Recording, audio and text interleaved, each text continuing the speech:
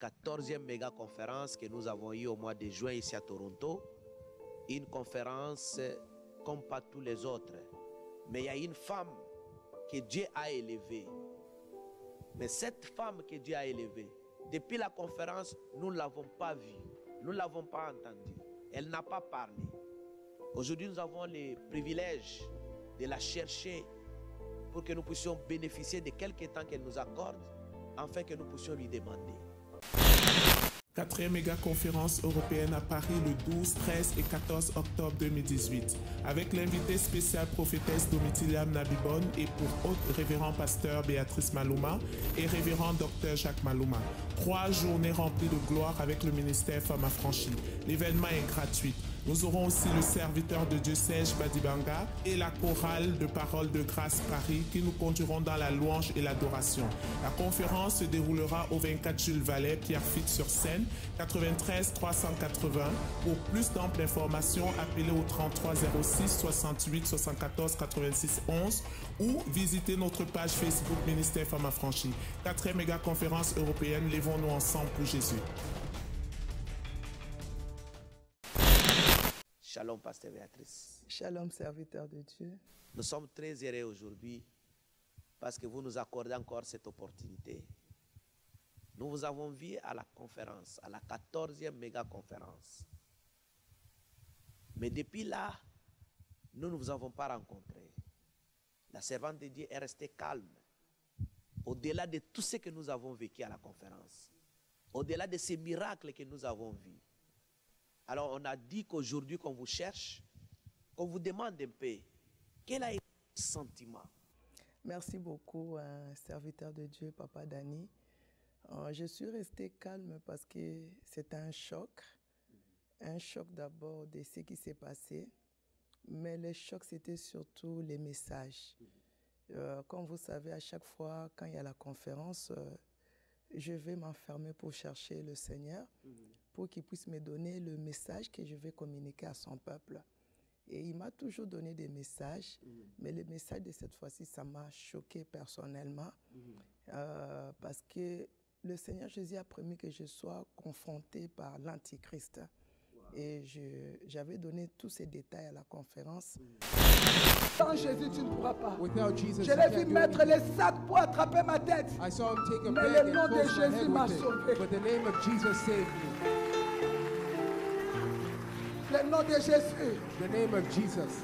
Quand il mettait son sac, When he put this bag on le my sac s'est déchiré. the bag tore apart. Et cette expérience m'a fait beaucoup peur et ça a réveillé encore mon esprit deux fois de dire que nous ne pouvons pas jouer sur la terre, nous ne pouvons pas jouer avec le Seigneur Jésus-Christ hein, parce que l'ennemi qui nous combat, nous ne le connaissons pas très bien. Il a une puissance aussi. Nous savons que le Seigneur a une grande puissance euh, plus que l'ennemi, mais il a une puissance. Et euh, dans cette expérience, c'est le Seigneur Jésus qui m'a sauvé. Il a permis cela que je sois confronté par lui-même l'Antichrist. Et les détails, c'est sur YouTube. Et puis, je vais encore euh, redonner ça à la quatrième méga conférence. Mais ce qui m'a sauvé, c'était le nom de Jésus. Quand il voulait mettre encore pour la deuxième And fois, when he wanted to put a Le sac s'est bag déchiré. the bag tore apart quand il a again. voulu mettre pour la troisième He fois, did the same thing a third le sac time. s'est The déchiré. bag tore apart J'ai crié juste Jésus. All I said was Jesus. Jésus. Jesus. La quatrième fois, The fourth sa time, présence a quitté la his salle. presence left the place. Et euh, quand j'ai cité le nom du Seigneur Jésus-Christ à quatre reprises, c'est là qui a permis qu'il puisse quitter les lieux de la, traite- de la retraite où j'étais. Et c'est, ça a été très émotionnel. Et euh, c'est par là ça m'a poussé encore à aimer le Seigneur Jésus-Christ comme jamais, à m'attacher, à le craindre, à le servir de tout mon cœur parce que nous n'avons qu'un seul nom qui nous a été donné. Dans les cieux, sur la terre, sous la terre, c'est le nom du Seigneur Jésus-Christ. Un nom très glorieux, un nom très puissant. Mais pour que ce nom-là soit efficace, tu dois avoir une relation personnelle d'abord avec le Seigneur Jésus-Christ. Tu dois le craindre, tu dois l'obéir pour que quand il y a une puissance comme ça très forte qui vient te combattre ou bien t'attaquer et que tu cites son nom pour que cet impie puisse te quitter. Parce que si je n'étais pas en bonne relation avec le Seigneur Jésus-Christ, si je ne le craignais pas, si je l'obéissais pas, j'allais pas sortir de cette retraite, j'allais mourir. J'allais mourir et les détails, euh, j'ai donné à la conférence ici, mais je vais redonner encore partout. Je vais aller, je dois parler de cela. Et arrivé à la conférence, j'ai dit ce que Dieu m'a dit de dire. L'Antichrist arrive. Et ce qui m'a étonné, je ne m'attendais pas. Je me disais, bon, qu'ils le prennent en bien, qu'ils le prennent en mal, moi, ce n'est pas mon problème. Moi, mon problème, c'est de dire ce que Dieu m'a dit. Si les gens acceptent, ça va. S'ils n'acceptent pas, j'ai dit, ça, c'est pas mon problème. Parce que je suis là pour faire la volonté de Dieu et non la volonté des hommes. Et pour ne pas que les hommes euh, s'intéressent à moi ou bien s'attachent à moi ou attirer l'attention des hommes vers moi, ce que j'ai à faire, c'est attirer l'attention des hommes vers le Seigneur Jésus-Christ. S'ils acceptent, ça va. S'ils n'acceptent pas, moi, c'est pas un problème. Je sers le Seigneur Jésus. Mais à ma grande surprise, quand j'ai apporté ces messages, quand j'ai dit ce que j'ai vécu euh, pendant le temps de la retraite, quand j'ai parlé sur l'Antichrist arrive, ça touchait le cœur des gens. C'était comme un message de wake-up. Il y a d'autres enfants qui me disaient, ça nous a réveillés. Ça a réveillé un peuple qui dormait, ça a réveillé un peuple qui pensait que tout allait bien. Il continuait, beaucoup ont été rétrogradés, beaucoup de gens, beaucoup, parce que nous sommes dans le temps de l'apostasie. Quand tu vois, beaucoup de chrétiens sont rétrogradés, mais ils savent même pas qu'ils sont rétrogradés. Beaucoup ont vomi des choses qui sont réparties encore pour manger ces choses qu'ils ont vomi. Beaucoup sont dans les péchés, mais ils pensent que c'est normal. Alors, ces messages, ça les a réveillés pour leur montrer à quel temps nous sommes. Parce que c'est qu'on m'a dit à voix audible, le Seigneur m'a dit à voix audi- audible, l'Antichrist arrive. Et moi, j'ai donné le message tel que j'ai réussi. Je n'ai pas rajouté, je n'ai pas retranché, je l'ai donné tel que je l'ai réussi. Et quand j'ai donné tel que j'ai réussi, ce qui m'a étonné, c'est surtout la jeunesse. La jeunesse a été touchée parce que c'est les parents qui me donnaient des feedbacks après, même eux-mêmes, la jeunesse, en disant que non, quand je retourne comme ça, je dois aller parler à mes amis à l'école, de, de faire attention parce que le temps est très mauvais, l'antichrist arrive. Donc ça a réveillé la jeunesse, ça a réveillé aussi tout le monde. Et après cette première réunion, la deuxième réunion, c'était encore, ça a augmenté parce que ça poussait les gens à chercher Dieu, ça poussait les gens dans la repentance. Et tout au long de, de- de cette conférence, nous avons parlé que de la repentance.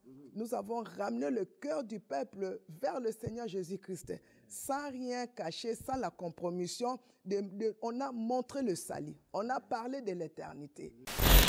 Il a accepté la croix. He accepted the cross. Toi aussi, You also, tu dois accepter la you croix. must accept the cross. Pendant les gens t'insultent, Maybe people are insulting you. j'ai dit pendant, When people are insulting you, va à la croix. go to the cross. Accepte les insultes. Accept the insults. Ne condamne pas la grand-mère. Do not condemn the grandmother. Ne condamne pas les grands-parents. Do not condemn the great. Ne condamne plus les sorciers de la famille. Do not condemn the sorcerer of the family. On a passé cette étape. We've, we've skipped that stage. Maintenant, c'est le problème de la crucifixion. Now is the problem of crucifixion. Et ce qui m'a touché, vous savez, là où il y a la vérité, là où on parle de la vérité, c'est là où le Seigneur agit. La gloire de Dieu était tellement intense, beaucoup de témoignages et parfois on n'a même pas envie de tout publier. Il y a des témoignages quand le Seigneur Jésus a fait, lui-même il disait à la personne, ne parle pas.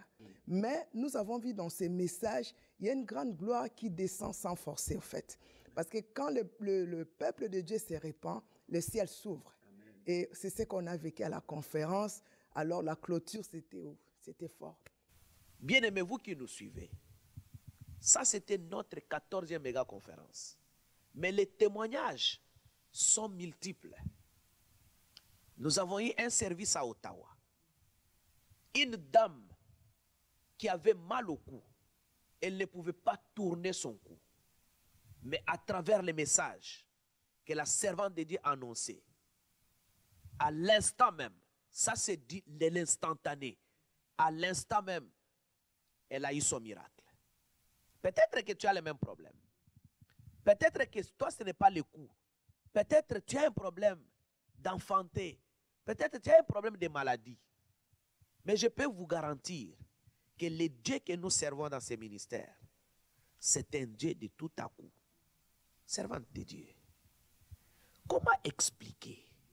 Parce que nous voyons, bien sûr, vous vous appuyez sur le Saint-Esprit, vous vous appuyez sur Dieu. Mais comment aussi expliquer que cette gloire, quelque chose, c'est un constat personnel. Après la conférence, les jours qui suivent après la conférence, chaque fois quand vous allez à un endroit pour un service, ce n'est plus à forcer. Comment expliquer ça? C'est l'obéissance au Seigneur. Quand on, on obéit au Seigneur Jésus-Christ, et surtout quand il vous donne un message, le message, le message peut sembler difficile, très dur. Mais si tu fais sa volonté, si tu communiques le message tel qu'il te donne, le Seigneur sera avec toi. Parce que le problème, ce n'est pas le problème de miracle, mais le problème, c'est le problème de message, c'est la parole. Parce que notre premier miracle, c'est quand une âme est sauvée. Quand un homme qui était dans le mal, quand il se détourne du mal, il revient vers le Seigneur. C'est là le premier miracle. C'est là où il y a la joie.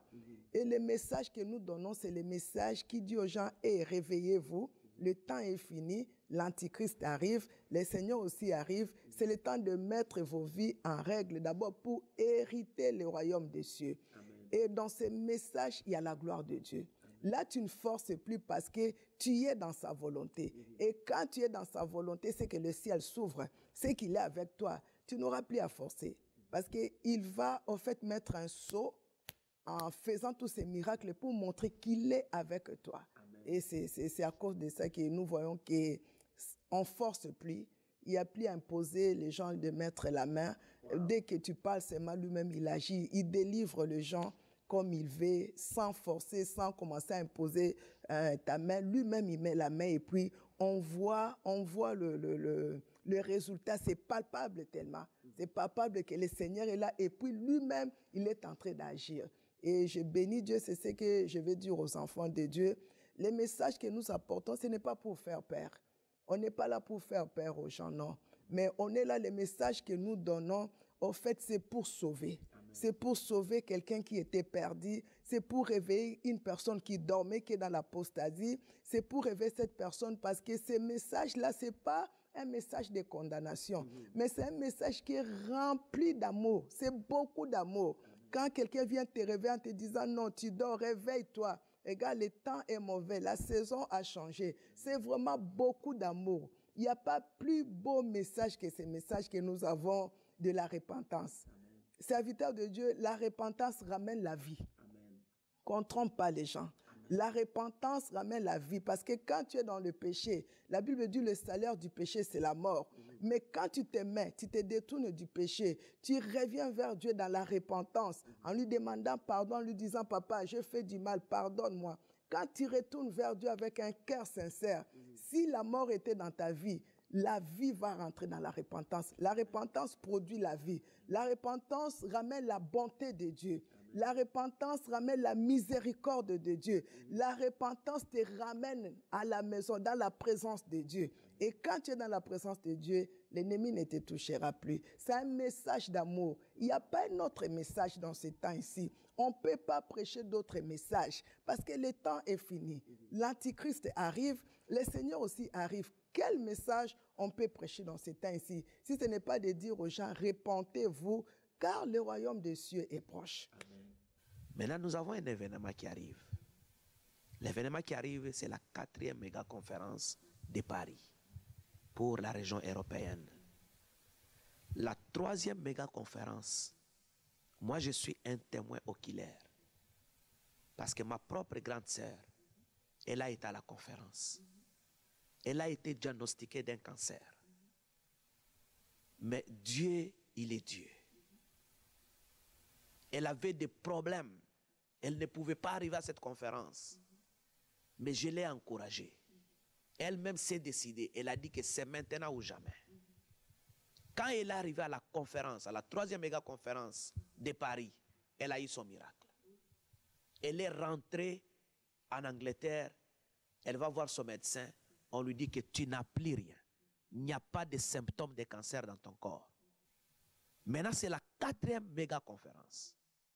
Quel est le message que ces bien-aimés qui nous regardent, qui ont vu peut-être les images de la troisième méga conférence, la gloire de Dieu était là et tous ceux qui sont venus à cette occasion ont été délivrés, ont été guéris et tous ceux, tout- toutes celles qui cherchaient la conception, la conception a été parfaite. C'était extraordinaire la manière que la, la puissance de Dieu s'est manifestée. Dieu a fait vraiment des merveilles. Euh, Beaucoup, il y a eu beaucoup de guérisons, des miracles. Ce qui a fait qu'on a senti vraiment sa présence. C'est vivre dans la la pureté. En fait. C'est ça qu'on prêche ici à l'église. Moi, je ne m'attendais pas à vivre toutes ces choses. Je suivais toujours le pasteur Béatrice sur Internet parce que je m'aimerais aussi servir comme elle aussi elle fait. Et, euh, elle m'impacte beaucoup vraiment. Je m'aimerais vraiment être comme elle. La caméra a filmé, la caméra a vu que la gloire était là. Dieu s'est manifesté puissamment. Car euh, quand on l'adore, quand euh, on le loue, il se manifeste au milieu de ses enfants. Et c'est ce qu'on a vu aujourd'hui. Sa gloire était là. Les gens ont été délivrés. On a vraiment senti la présence de Dieu au milieu de nous. Euh, vraiment, on va de gloire en gloire. quel est le message que le Seigneur vous a donné pour ces peuples qui viendront de partout dans le monde à cette quatrième méga conférence de Paris? Le message, c'est pour seulement dire à ces grands peuples tellement précieux qui arrivent de partout, les gens se mobilisent déjà des quatre coins de la terre. Ça sera le message de lui montrer à quelle saison nous sommes. Le temps a changé, c'est- la saison a changé d'abord. Quand les saisons, la saison a changé, donc euh, nous sommes, euh, nous nous approchons encore très proche du temps de la fin. Donc, euh, bientôt l'Antichrist sera là. Moi-même, on m'a dit l'Antichrist arrive, donc il est sur le chemin. On voit les signes, on voit que bientôt le troisième temple à Jérusalem va être construit. Ça, c'est un grand signe. Nous voyons déjà dans des travaux, on est en train de proposer des gens de mettre la puce sur la main.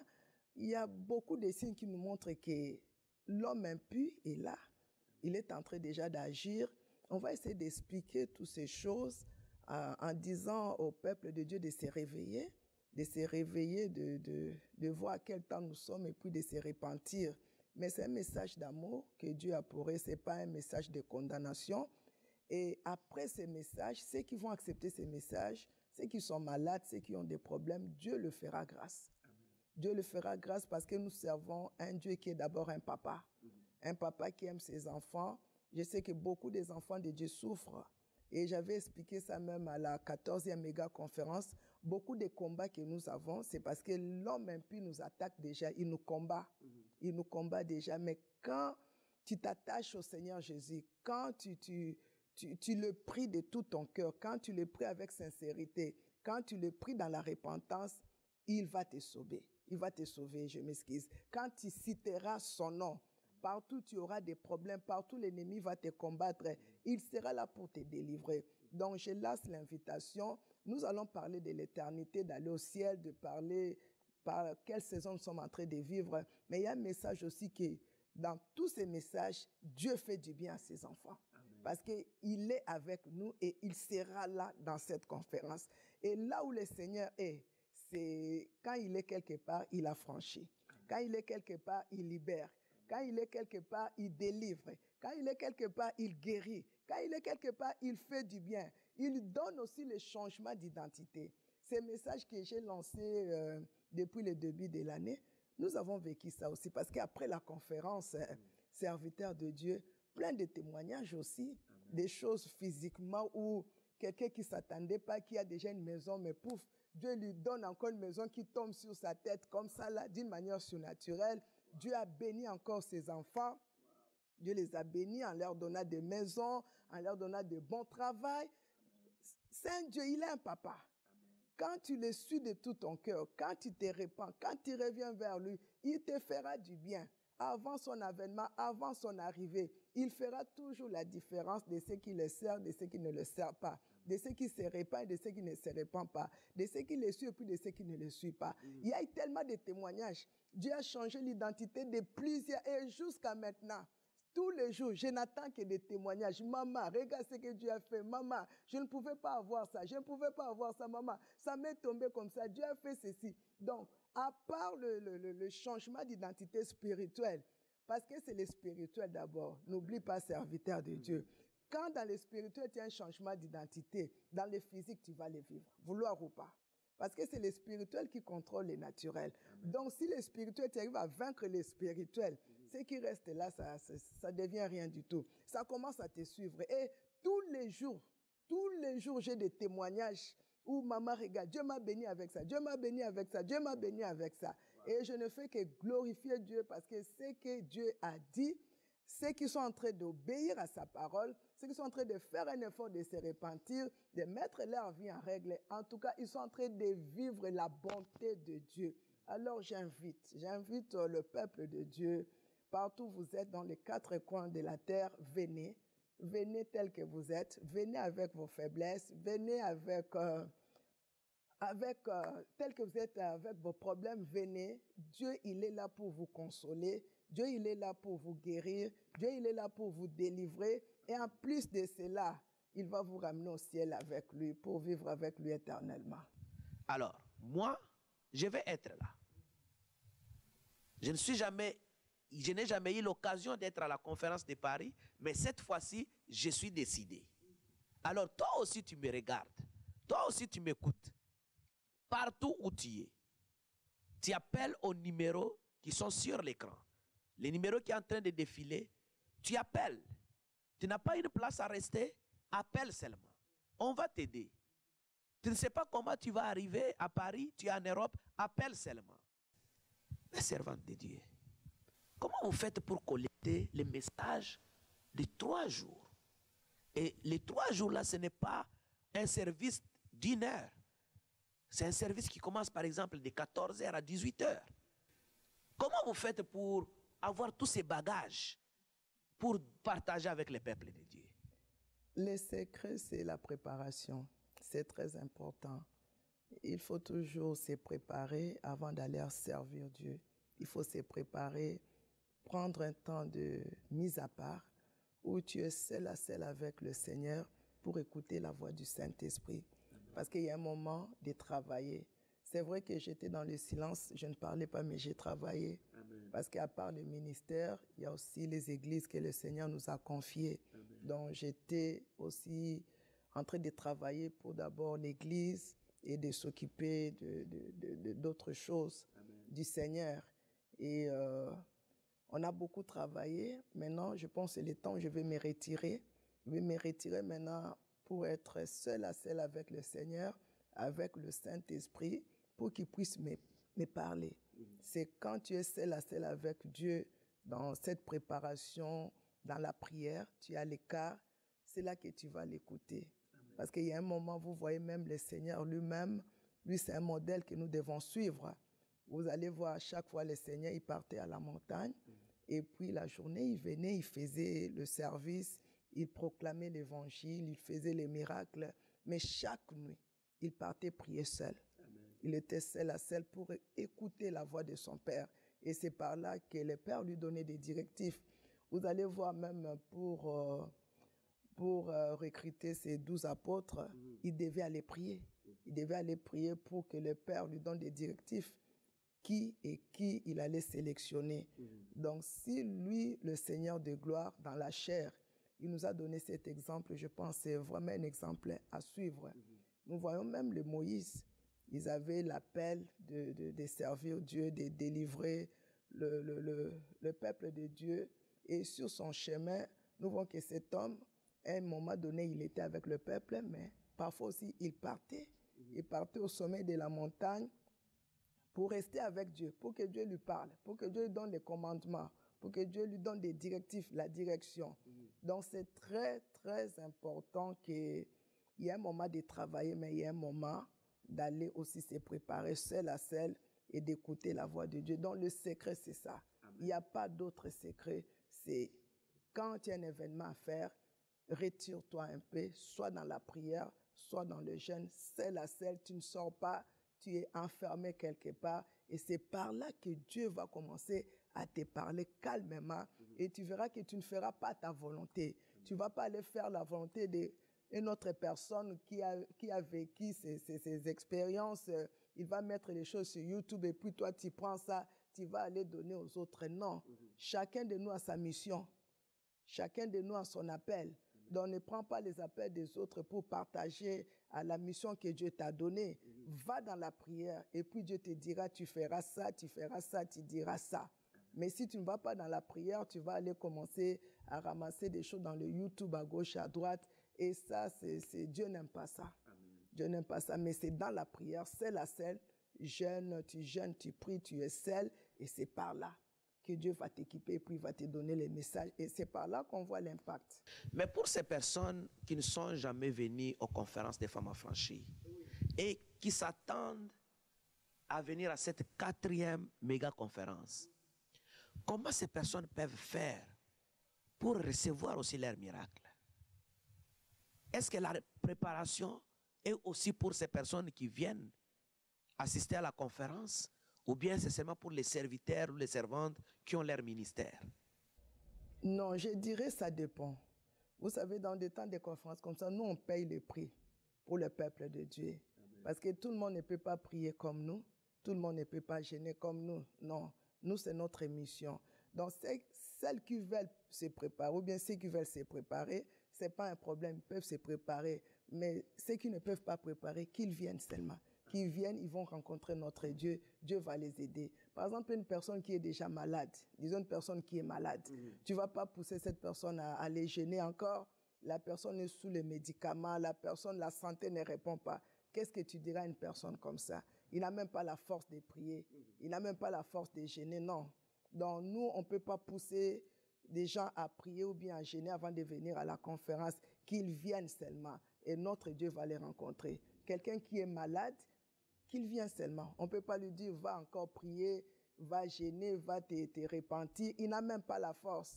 Il est là, tout ce qu'il veut que Dieu puisse les guérir. Alors qu'il vient, il va écouter le message et Dieu va les guérir. Et après, il aura maintenant la force de prier et de gêner après la guérison.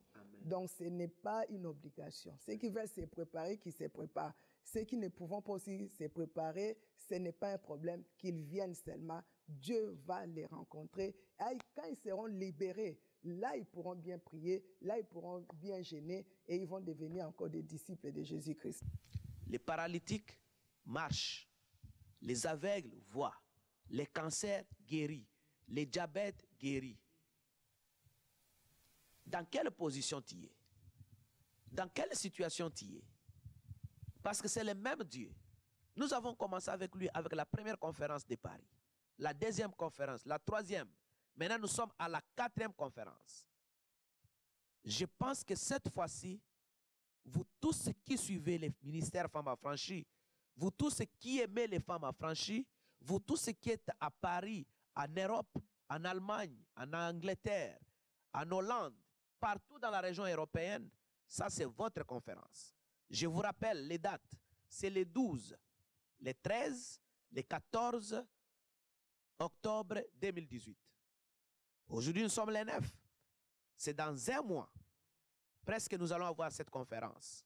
Alors prends le temps de demander congé à ton travail. Prépare-toi. Mais surtout, appelle le numéro qui est en train de défiler sur l'écran parce qu'on va te donner tous les détails. Tu n'as pas besoin de t'inquiéter de là où tu vas rester. Si tu n'as pas un endroit où rester, on va t'aider. Mais notre souci est que tu participes. La conférence, elle est gratuite. Peux-tu donner un message à une personne qui nous regarde en ce moment Peut-être c'est une personne qui priait beaucoup, mais elle se retrouve au bas de l'échelle. Elle ne sait pas comment se relever.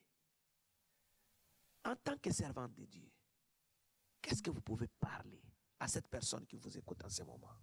Je veux dire à cette personne de venir parce que dans toutes nos conférences, la présence du Saint-Esprit est intense.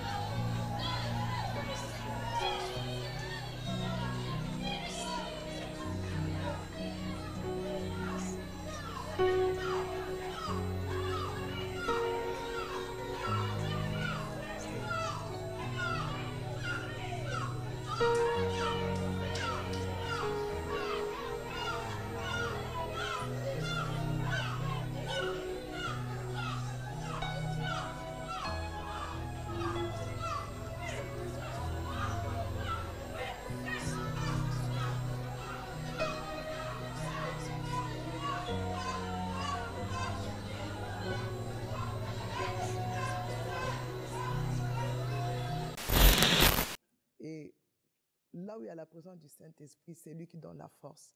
Si quelqu'un n'avait plus la force, le Saint-Esprit va lui donner la force. Si une personne ne pouvait pas prier d'une manière surnaturelle, le Saint-Esprit, la Bible dit, il est notre aide semblable. Quand il est là, c'est pour aider les plus faibles. Si la personne ne pouvait pas prier avec l'aide du Saint-Esprit, la personne va prier.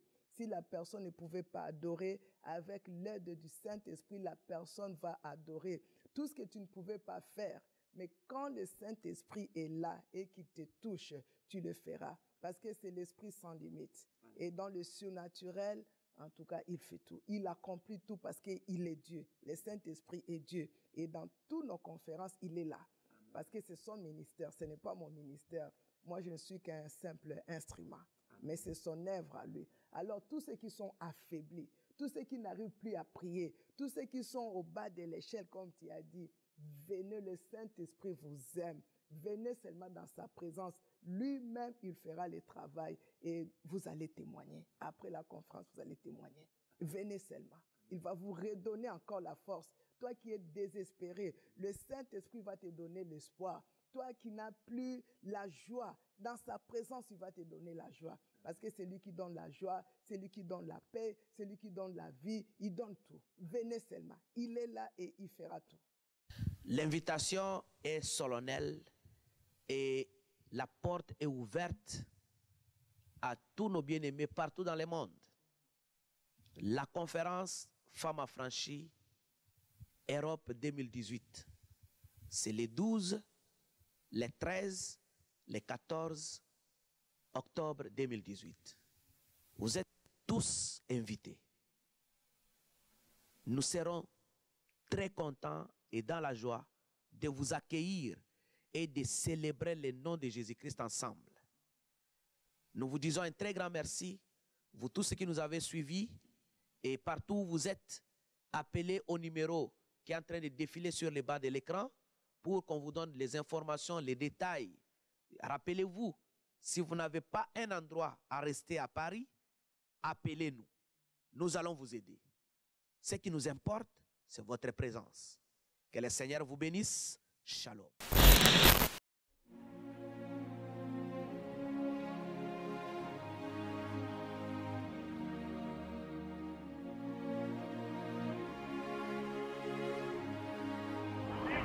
Du Seigneur, l'ennemi est celui qui a trop perturbé nos vies.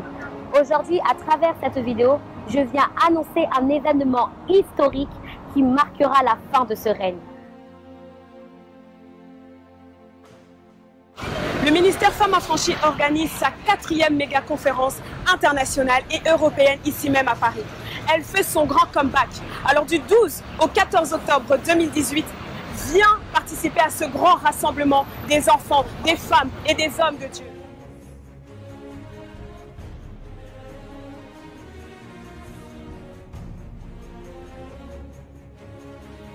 Nous aurons comme orateur l'esclave du Seigneur Jésus-Christ, le pasteur Béatrice Maluma, qui n'est autre que la fondatrice du ministère Femmes Affranchies.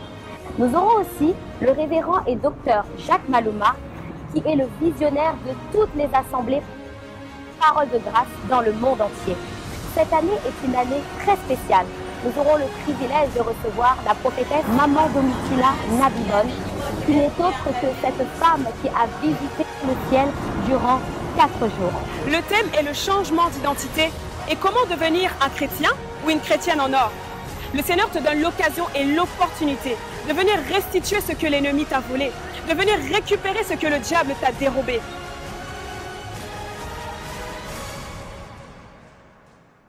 Alors toi qui me regardes, le diable t'a peut-être dérobé ton identité spirituelle, ton identité sociale ou encore physique. Mais laisse-moi te dire que Dieu est capable de changer ton identité. Il est le Dieu qui peut tout faire. Il est Jéhovah Yahweh, le Dieu Tout-Puissant. Il est celui qui a changé l'identité de la femme samaritaine. Alors viens. C'est le moment opportun pour venir récupérer la vraie identité que Dieu t'avait attribuée à ta naissance.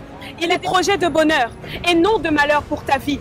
Alors mon frère, ma sœur, toi qui me regardes encore, je t'invite à cette méga conférence européenne le 12, le 13 et le 14 octobre 2018. Viens vivre la gloire de Dieu et la main de Dieu n'est pas trop courte pour agir dans ta vie. tu verras, Dieu va te donner l'identité que tu as perdue.